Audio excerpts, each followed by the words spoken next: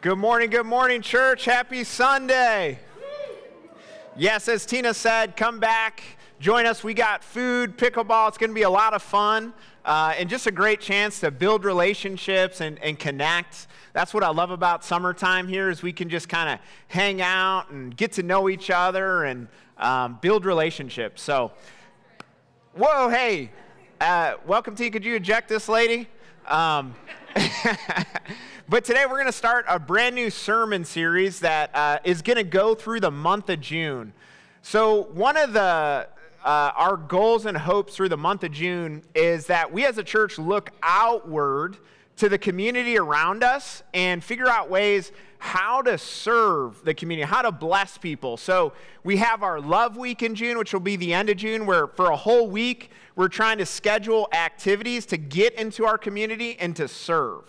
Um, and today we're going to start a new sermon series called The Art of Neighboring because we also want to talk about how can we just see the opportunities that are right around us every single day to love the people God has near us. So we're going to talk through that, but before we do, uh, let's pray. Father, thank you for this time. Thank you for this day. Thank you for this opportunity to learn and to grow and, uh, and to connect to you. Father, I pray that you would teach us your wisdom, Lord, that we could love you in a deeper way this summer. Father, I pray our, our love for you, our delight in you, could just grow to a new level. And I pray, Father, that would, it would help us to love the people around us in better ways. So grant us this grace, Lord. We ask all this in Jesus' name. Amen. Well, this, uh, this winter time, right around Christmas time, I, I tweaked my back uh, pretty bad. And I've kind of have done this for several years. And so normally like I have like a good protocol to like get it back into shape, but it just wouldn't really heal, you know? And so for for months it's been bothering me. And uh, and some might say I'm getting older. I don't think you know, I don't think that's it. I think uh, I, it's just a, a, a, crazy thing. And so finally, my doctor was like, hey, you need to go to physical therapy. So finally, I did. Last week, I went for my first session. And the therapist was like, you know, doing all these different tests to see what was going on and where the mobility was and stuff. And, and kind of after doing all that, she was like, she's like, you are insanely inflexible. And I was like, Do you mean that like personally or physically? Because just want to be clear here. And, and she's like, Yeah, you're literally like one of the, the most inflexible patients that, that I've had. Um, and I was like, Well, thanks. I always like to be in the top, you know, whatever. Uh, so she's like, she's like, if you just honestly like focus on stretching, like your hamstrings and a couple other things, she's like, it's gonna go a long way for you because I think all that tightness is really keeping you in a bad spot. And I was like, well, honestly, that's really good news because that's kind of an easier fix. You know, I can do that. I hate stretching.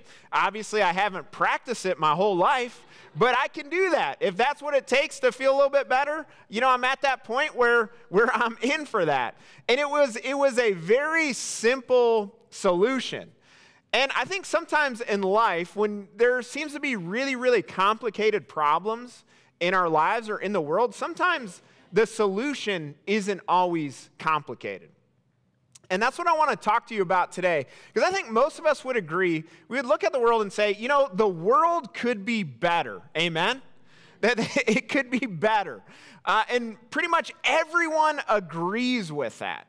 But then when we try to think about how to make it better, we can sort of get lost in that question. We can get lost in trying to figure it out. And what we're going to talk about through the month of June is what Jesus calls us to do as his followers. Which he says you have, you have two overriding priorities in your life. Number one is to love God, and number two is to love our neighbor as ourselves. And what I want to argue in this series is that if we can grow in those two things, those two priorities, it, it will inevitably make the world around us better. That what, what Jesus calls us to do is really a simple solution, but it can go really, really far in making our homes and our communities better places. Now, there's this great book called The Art of Neighboring. And uh, if you're interested in this, you could check it out, and it's a really good read. And I'm going to kind of use some ideas from this to give us some challenges and applications. But in the book, the, it's written by two pastors, and they're from the Denver area. And they were at this citywide meeting with all the different pastors in Denver and the mayor. And the mayor started talking about all these different problems in the community. You know, problems with youth and problems with, um, you know, the disrepair of different places. And he just had this, this huge list of problems. And he said, now, if the government tries to solve all these problems, he said it's not going to go well because it's going to be too costly, it's going to be too complicated. He said, What our community really needs is to learn how to be good neighbors to each other. And this was to this group of pastors. And so they heard that, and these two guys, they just kind of walked out with their heads hanging low because they said, Well, isn't that the very thing Jesus asks us to do? Love our neighbor as ourselves? And here's the mayor of the city asking a group of pastors, hey, could you help us do that? And they just kind of realize at that moment that that's what we should be doing all along. And if we do that, it makes a huge difference. So that's what we're going to talk about for this month. And we're going to begin by looking at Luke chapter 10. And I'm going to begin at verse 25 today. And the next two weeks, we're going to look at, at this passage. But here's how it begins. And behold, a lawyer stood up to put him to the test, to put Jesus to the test. Now, when you hear lawyer here, don't think of a modern day lawyer. This lawyer would have been someone who was an expert in Old Testament law. So they'd be more like a Bible scholar today or a theologian. And this guy stands up, and you, we see his motives. He wants to test Jesus. So he's not asking a sincere question, he's trying to trap Jesus. And at this point in Jesus' ministry, Jesus was getting this reputation for hanging out with the wrong people tax collectors and sinners. And so, for the people like this lawyer, it was guilt by association. And so they were like, all right, we, we know Jesus can't be the real deal because if he was, he would not be able to stand the presence of these people and he certainly wouldn't welcome them. And so they're like, we're, we're going to expose him here. So, so this is what's behind this question. He says, So, teacher, what shall I do to inherit eternal life? What shall I do? And then Jesus said to him, Now I love this.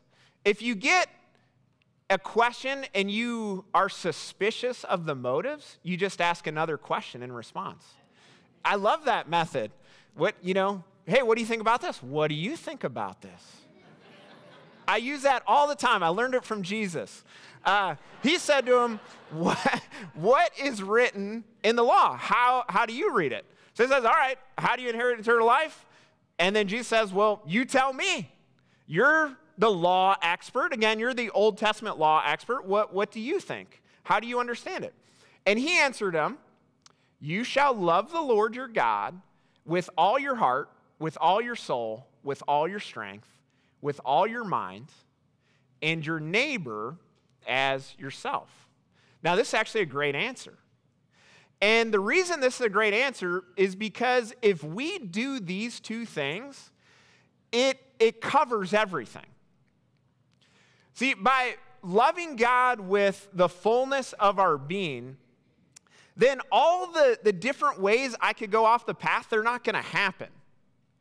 If I constantly love my neighbor as myself, I'm not going to steal from them because I wouldn't want them to steal from me.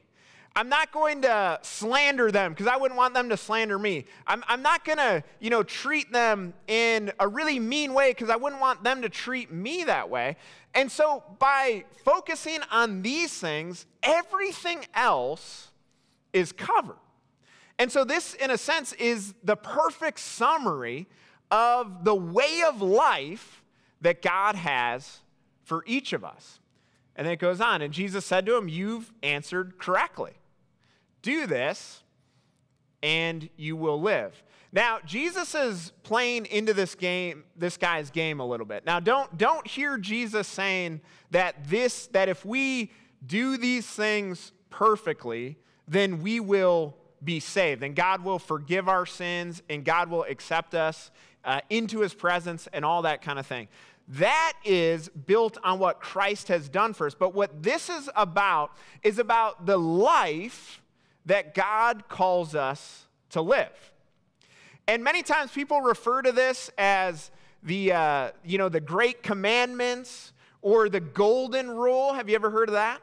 The golden rule. And what's interesting about that is that people inside and outside of the Christian faith usually all say if we just lived by the golden rule, the world would be a better place. And they're referring to this they're referring to love your neighbor as yourself. But the golden rule, notice, it doesn't begin with our neighbor, it begins with God. And that's what often gets passed over. That Jesus says, no, first, I need a growing love for God with all your strength, with all your soul, with all your might, with all your mind. And then comes the neighbor part. I need to grow in my love for God first before I'm able to grow in my love for others. And today, that's what I want to focus on. I want to talk about how we can grow in our love for God. See, here's the truth if you and I develop a bigger heart for God, it will translate into us loving people in our lives in a better way. These are interconnected. But love for God changes how I relate and love other people. So here's the big idea today better neighboring begins with a greater love for God. If I'm struggling to love the people in my life, then here's the beginning point begin with trying to grow your love for God. Now, let's talk about these two loves here, real quick. Jesus says, This man answered correctly. Loving God and loving others is meant to be the focus of our lives. And here's what I believe when you and I, when we neglect that focus, when we abandon those priorities, then our life becomes misaligned and increasingly more terrible. See, you, you were created to do this. I know in our world we're bombarded with the message that we were created without a purpose, that we were created just randomly, that we're all, you know, biological accidents. But Jesus says something that is entirely different than that that you were created for God to love God and to love other people. And when you try to use and live your life outside of what you were created for, it doesn't work that well. And most things, when you try to use them outside of their intended purpose, it doesn't work that well. My girls were in the garage the other day and they and they found a stud finder, you know? And, uh, and so they, they thought it was so cool because it beeps, it makes noise, it has a little laser thing on it. And, uh, and so, of course, the first thing that I did was took it from them and rubbed it across me and said, Yes, girls, this works. Because as a guy and as a dad, you're required to do that. But you know what I'm saying? Anybody? So, and then once I did that, I give it back to him. and say, yes, girls, it's fully functional. It, it can detect studs. Um, but uh, I'll, I'll take the fifth on what it did. Um, but they, they thought it was awesome, but they, they loved the, the beeping, they loved the color. But then they took it and they tried to use it as like a checkout device. So they saw it as like, you know, this is fun. This is like going to the store. What do you want to buy? And it would beep. And, and they had a, great time. But now, if you were to take that stud finder and you were literally to try and use it as a checkout device, you would be disappointed. You'd say, This is the worst checkout device I've ever had. It won't scan these barcodes. The price doesn't come up on the screen. I can't. And then somebody would obviously say, Well, it's not meant for that. If you want to find studs in the wall or in person, then it's great for that. uh, it'll work really, really well for that. But if you use it for something outside its purpose, it's not going to work that great. And here's what happens we try to make our lives function outside of what they were created for, and it doesn't work.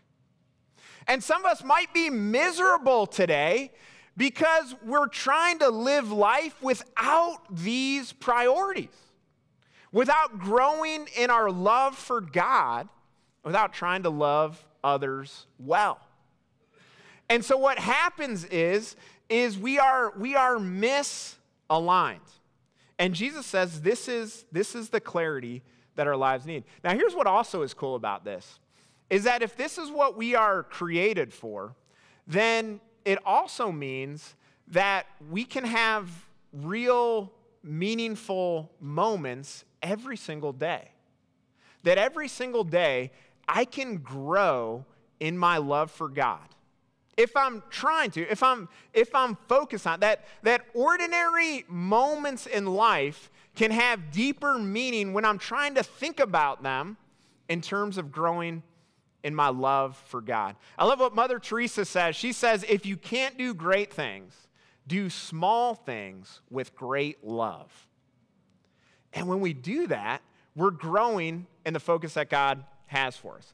Now, if this is what matters most, then here's what it means. Then our two overarching problems in life are misdirected or disordered love and underdeveloped love. Those are our two greatest problems. If the, if the greatest command is to love God with everything and love others as ourselves, and to have that order, then our greatest problem is misordered love, disordered love, or underdeveloped love. Now, I want you to think about this for a moment. When our loves get out of order, it creates a lot of brokenness and pain in our lives.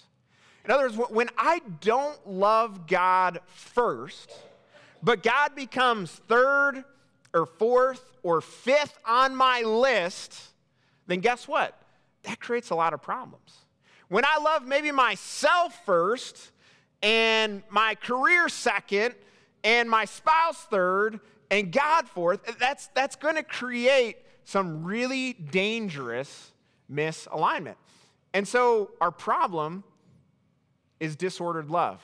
One of my favorite movies of all time, don't judge me on this, is The Godfather. I love it. I, Pray for me. Um, but it, it's actually, it actually has, believe it or not, it actually has a lot of spiritual lessons to it. And let me make an argument for this. And the, the Godfather, it, it follows the story of this mafia family. See, I first got intrigued in it because I my mom's dad was a mafia guy. I never really knew him, but I always kind of heard some stories, so it intrigued me. But anyway, um, so The Godfather is about this, this family, the Corleone family, and they're a New York mafia family. And in the beginning, it centers on the youngest son named Michael Corleone. And he knows his family is into bad stuff and he wants nothing to do with it. He wants to live a healthy life, a non corrupt life, and he wants to get married with the love of his life and build a family and just be away from everything that his family is. And at the beginning, his priorities are right. Yes, all this power and greed is evil, and a better life is with apart from that, and his, his loves are ordered in a healthier way. But through the story, he gets pulled into the family and he's like, all right, I'm just gonna help for a time, but I'm gonna, I'm gonna make it all legitimate. And all the, the evil stuff that happens, I'm gonna change it and make it good. Which again is, is a much better motive. But by the end of the story, he becomes totally corrupted by it. And by the end of the story, he loves the power and greed even more than his own family. And it ends up ruining his family. And it's a story of what happens to us as human beings is that the wrong, we love the wrong things too much. That, that our souls, if we're not careful, they can become corrupted by that and disordered by that, and it creates a lot of pain. And when you love God first, when God is the great love of our life, it orders things in the way that they should be. And so, how do we grow in our love for God? That's what I want to talk about in these moments. How do we grow? If, if loving God first is the most important thing, how do we grow in it? Well, here's number one you need to know no one is more worthy of your love and devotion than God. No, no one is more lovable than God. No one is more enjoyable than God. I was at a breakfast a couple weeks ago, and someone asked me a really great question. He said, Tell me about your kids in one or two words. Tell me who they are in one or two words. I was like, That's a really cool question. And so I thought about it real quick, and I said, Well, Emery is, is sweet and gentle. Has a very sweet and gentle spirit, very much like her dad. Um, very, I don't know why you're laughing at that. Um, and, uh, and you know, that, those were the words that came to mind. And I thought, Abby, I thought, Abby is very strong and determined. Um, you know, she kind of knows what she wants. She um, is strong willed, you know, uh, very much like her mother. Um, and, uh, and then I thought Teddy, I said, well, honestly, Teddy's too young. I can't really tell yet, you know. Um, but it was an interesting thing, and, and it just kind of, it brought out some of the qualities that are so lovable about them, that are so uh, attractive about them. And when you think about God, God has an infinite amount of qualities that make him great. That, that, that if, if my love for God is not there, or maybe it's, it's weakened, or maybe it's, it's kind of cold, the problem is not, is God great and lovable? The problem is something inside of me. You with me on this? God is worthy of being loved with the, with the wholeness of who we are. He is that good. He is that great. He is that perfect. And when I struggle in my love for Him, it's not reflective of, well, God isn't really that lovable. it's something disordered or underdeveloped, underdeveloped in my soul. You with me on this? And so the first thing I need to realize is no one is worthy of our love and devotion than God. Here's the second thing we need to pray for God to help us, to teach us to love Him and enjoy Him. Thursday night, I talked about Psalm 37, and it says this Delight yourself in the Lord, and He will give you the desires of your heart. To me, that is such a powerful psalm. Because here's, here's what I know I believe the second part, we all want the desires of our heart fulfilled. Is that fair? We, we all want our hearts to, to feel satisfied. We all, we all want, there's things that are deeply important to us. Maybe we can't even articulate them, but, but we want them accomplished. We all want that, but usually we don't approach that with the first part of this psalm. It says, Here's the way to a fulfilled heart delight yourself in the Lord. Delight yourself in the Lord. Enjoy God. Not just his gifts, not just the, the things that he blesses our lives with, but enjoy God himself. Now, when I think about this psalm, and if I'm honest with myself, I know how to enjoy a lot of things in life. We, were, we took the girls to uh, the pool this week, and it was our first time out there, and they just had a ball. It was a beautiful day. The sun was out. They, they were so like giddy excited. And there was a couple moments where I just kind of stepped back and I was just like, man, this is this is just so awesome to see their joy. And this, this is just such a blessing to see them thrilled and excited. And it was just this beautiful summer evening. And, and I, it, it, I knew how to enjoy that moment. I knew how to enjoy my family. I knew how to enjoy the summer evening. But, church, do we not know how to enjoy the presence of God? See, I need to learn how to do that. I need God to teach me. I need God to help me because, believe it or not, at the end of the day, the more that you and I actually enjoy God, the healthier our soul becomes and the more we glorify Him. There's a great author, John Piper, he says this God is most glorified in us when we are most satisfied in Him. And I want you to think today for a moment what does your relationship with Him, what is it marked by? If our relationship is marked by just a sense of duty, all right, Lord, I'll come to church because I don't want to get in trouble. All right, Lord, I'll, I'll pray because I'm, I'm scared not to.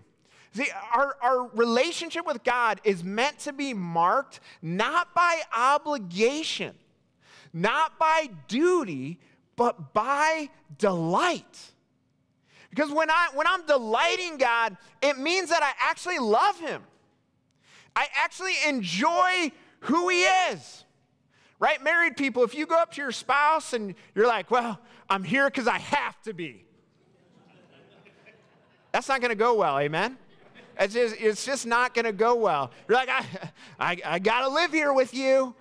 I got to do these things. I got to I got to be your husband or your wife. Uh, yeah, that's going to be a great marriage. No. You, you want it to be marked by delight. Now, there's going to be days where it's not. But hopefully, that's growing. Hopefully, there's moments of that. Hopefully, the, the relationship is on a better path. And, and our relationship with God is not meant to be this cold, duty oriented, white knuckle, obligated thing. It's meant to be joy. That we learn to enjoy God and to truly love Him and to want to be around Him.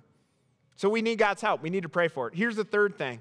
I love this from C.S. Lewis that one of the ways we grow in love is we learn to follow all the rays of the sun back to the sun. Here's what he meant by that that we follow all of God, all the rays of God's gifts back to him. But C.S. Lewis says, but don't just stop at gratitude, where you say, God, thank you for this gift. Now, that's a good thing to do and a, and a great practice. But he says, but aim for something deeper than gratitude, aim for adoration. And this is what adoration is adoration is looking at this gift and thinking, what kind of God would provide this gift to me? What kind of God, what must God be like that he would bless me with this gift? Adoration is then thinking about the gift and thinking about the God who is behind it and what he must be like to give this great gift. Like if you maybe you, you look at a great sunset this summer and you're just looking at the clouds and the colors and the sun, you're like, man, this, is just stunningly beautiful.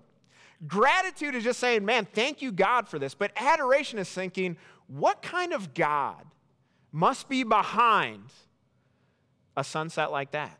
Well, he must be immensely powerful. He must be very detail oriented. He must value beauty and art. He, he, must, he must like to, to just give his very best in the order. It, it just takes you to a different place. You with me on this? And, and it nurtures love for God. Here's the fourth thing turn from all the empty places that we've been trying to satisfy the thirst of our soul and turn towards God. Here's what our problem is disordered love. I'm, I'm looking to something to fulfill me that only God can give me. You ever done that? I'm looking to a person, I'm looking to an addiction, I'm looking to an unhealthy habit, and I'm looking to it to fill my soul, but in a way only God can. Here's what Jeremiah says Powerful verse. He says, My people have committed two evils. They've forsaken me, the fountain of living waters, and hewed out cistern for, cisterns for themselves, broken cisterns that can hold no water. Jeremiah says, God is like this perfect spring. That there, there's, there's just this bubbling, cold, refreshing water. It doesn't have any fluoride in it or anything like that. It's just, it's just perfect uh, in every way. And it's abundant, it's, it's never ending. He said, God, God is like that to our, our souls. It says, but instead of going to that fountain of living water, we go to this muddy puddle over here with a dead cat in it. And we say, ah, that looks better to me. And there's nasty little bugs, and there's oil, and there's a dead cat floating around. And we're like, okay, which one should I choose? I'll choose this one. And there's this perfect fountain over here. And, and that's what sin ultimately is it, it's forsaking the fountain of living water and it's settling for something that is far less joyful and good for us and healing. You with me on this? In all, in all of our lives, we all have things that we go to, and, and we're looking for them to fill our souls. But what we need reminded of is only God can do that. And here's the last thing I need to remind and teach my soul God is the treasure, delight, happiness, and joy of my life. Here's the truth if, if I lost all God's blessings, but I still had God, I have more than enough. You with me? Now, that, that's, a, that's, a, that's a hard truth for our souls to accept. But that's how good God is. That's how satisfying He is. That, that if, if I have Him, if you and I have Him, we have everything. We have all that we need. We have all that we could, we could ask for. We have all that we could want. And I need reminded of that. Because every day I can draw from that well. Every day I can live from that treasure. Every day I can, I can live from the strength of that but my soul forgets it real quickly. How about you? Here's a, a psalm that uh, I've been just repeating to myself as I've been thinking about this. Whom have I in heaven but you? Look at this next line. There is nothing on earth that I desire besides you. That's a healthy soul right there. There's nothing I desire. Yes, Lord, I, I thank you for your gifts. I thank you for these blessings, and I'm going to be grateful, and I'm going to adore you, and I'm going to worship. But Lord, what I really am after is you. Church, can I be honest with you? Sometimes our problem is we only know how to use God, we don't know how to delight in Him. When I was growing up, I had a neighbor, and we had a, a pool at our house, and he would come over and knock on the door. He was a little bit older than me, so I kind of looked up to him and thought he was cool. And he would say, Hey, can we go swimming? And if I said yes, he would hang out with me. If I said no for some reason or another, he'd just go back home. And even as a young kid, I was like, this relationship doesn't quite feel right. Because uh, he was just using me for the pool. Um, and you know what, church? How often are we just using God for his blessings? To say, all right, Lord, if you give me what I need, I'll praise you. I'll be with you. I'll serve you. But Lord, if you don't give me what I need, I'm going back home. I'm taking my ball and going home. I can't go to the pool. I'm out of here. And, church, God deserves better than that. He is worthy. Here's what the psalm says There's nothing I desire beside you. My flesh and my heart may fail, but God is the strength of my heart and my portion forever. So here's my prayer for you, and here's what I want to ask you to pray about. This summer, let's ask God to help us to learn to delight in Him. Today, if you're looking honestly at your heart and you're like, okay, my heart, I delight in all this other stuff way more than I delight in God, then, church, let's acknowledge that and let's ask God to help us to grow in our love for Him. That's the beginning point of everything. That's the beginning point of every good change in our life is fanning the flame of love for God. And would you be praying that in your heart? And I'll be praying that in my heart. And let's see what God does through us. Now, one last thing I want to share with you. And I just want to remind you love for God begins with God. It begins with God. Our son Teddy, he's, he's eight months now. It's going fast. And, uh, and you know, for parents, you, you know, like it takes a, a few weeks or a couple months before the baby starts smiling at you, you know? Um, and, uh, and that was something I never knew until we had our first kid. It was like, why, why do they always look grumpy? I was like, well, you know, it takes time for them to smile. I'm like, oh, okay, I didn't know that. Um, you learn a lot on the journey, you know? Um, and, uh, but, but with Teddy, you know, I knew that. And, and of course, there is, I'm sure, a biological explanation for it, a physiological explanation for it. But I like to think about it this way I like to think about, you know, that in a sense, maybe as parents, you awaken that love in them. Because, you know, when they, when they come out of the womb, what do you do? You're just smiling all over them. You're looking at them and you're smiling and you're laughing and you're, and you're just, you're just showering them with all the love in your heart. And so are the people around them just smile. But then, but it takes a while before they begin to reciprocate. And I think it's maybe not just biological, but it's also spiritual. That it's a picture of how God relates to us. See, now it's a fun season. Teddy's smiling all the time. He's rocking that do, man. Outdoing dad. Um, but it's fun. Now he smiles all the time.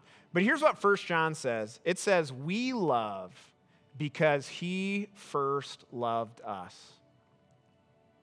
I wonder how long God has been smiling at us. How long he's just been, been showering us with love so it would awaken love in our hearts. That's a powerful picture to me. And I want you to know today that if you love God, it's because he first loved you. It's because he's been doing that for longer than we might know. And he continues to do that.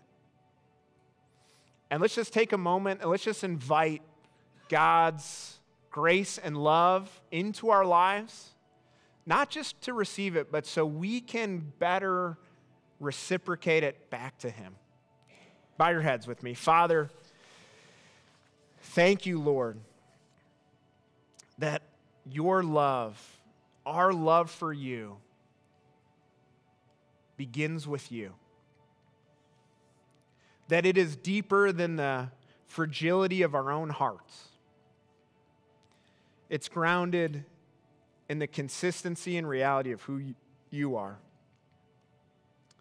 Father, I pray today, Lord, that you could just grow our love for you. Father, I'm sorry that, like the people in Jeremiah's time, I go and I look to these other places to delight in, to satisfy my soul. When, Lord, I've lived long enough to know that you are the fountain of living waters, and there's nowhere else I need to go.